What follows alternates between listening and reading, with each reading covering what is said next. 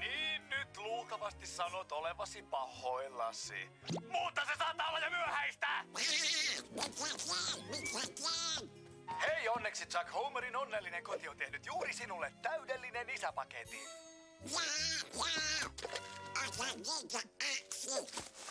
Kiitoksia!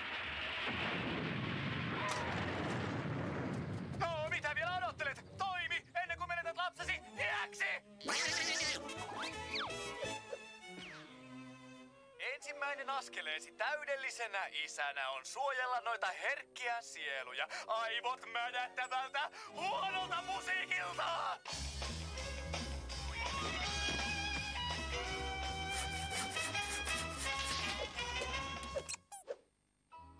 B, C, D, E, F, G.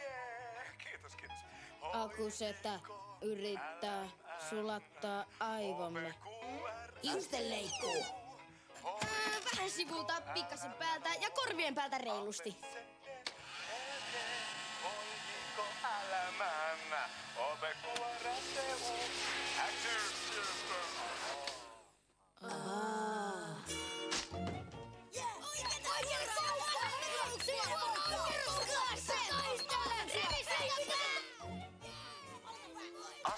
kaksi. Täydellinen isä edistää rauhaa, pehmeitä arvoja ja rakkautta. Olen pikku pupu, teidän ystävänne. Haluan halata teitä. Irrottakaa se! Irrottakaa se! Askel kolme. Tohtori Homerin terveysluokka ravitsee terveen sielun terveessä ruumiissa. Kaskamu, me ei voida odottaa kahdeksaa, kun sitä aivo pesee meidät. Vähän vielä, niin me seotaan. Koettakaa kestää kamut. Mä tuun heti. Hei.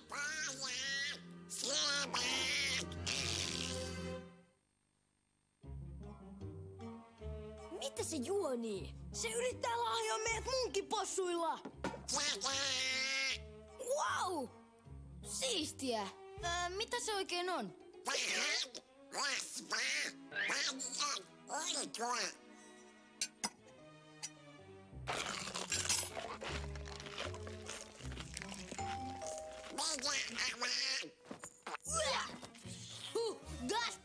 Meidät.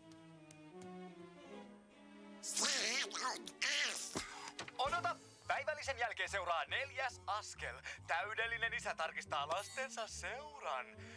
Haluaisitko viattomien pienokaistesi kulkevan sellaisen huligaanin seurassa kuin... Hän!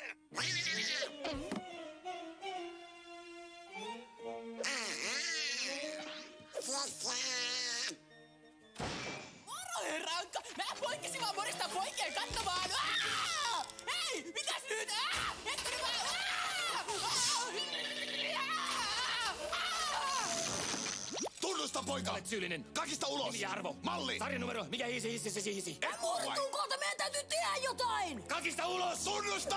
Okei, okei, mä se olin. Mä sen tein. Mä liimusin sen purkateini tuolla, mä olin vaan viisivuotias. Antakaa anteeksi.